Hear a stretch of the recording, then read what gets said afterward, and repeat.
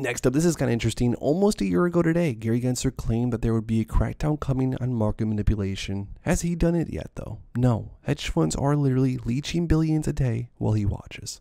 And this is in regards to the article from October 8th, which is almost a year ago now.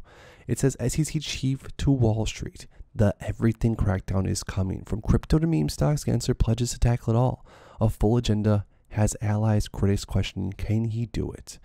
So oddly enough, the SEC, I will say, I'm not trying to defend the SEC or Gary Gensler because, in my opinion, I don't think that they have done a lot, if not anything, over the last year.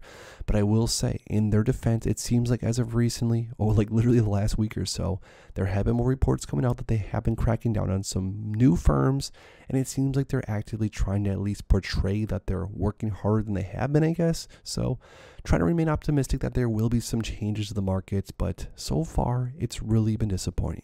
Comment down below if you agree with this, guys. The SEC Ethics Office voted most useless office in America for the second year in a row. So there's new articles coming out now from mainstream media even saying that the SEC is pretty hated and a lot of people are saying that they're absolutely useless. Comment down below some things that you want to see the SEC do, enact, or change in this up and coming year. Apes, hold no matter what happens. If they halt the stock every five minutes, hold. If it goes up and drops hard, hold. No matter what happens, apes hold.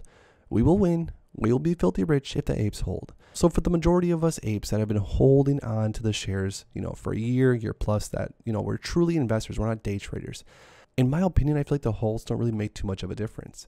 When I see AMC rise up 20%, 30% and it's halted and drops down 5, 10%, it doesn't make a difference. I'm not selling my shares either way. The only thing that's affected during those halts are probably the day traders, which are going to be shaked out after some time no matter what. So for the real investors, for the real holders, the halts, the drops, the rips, they don't really matter until the bigger picture is fulfilled.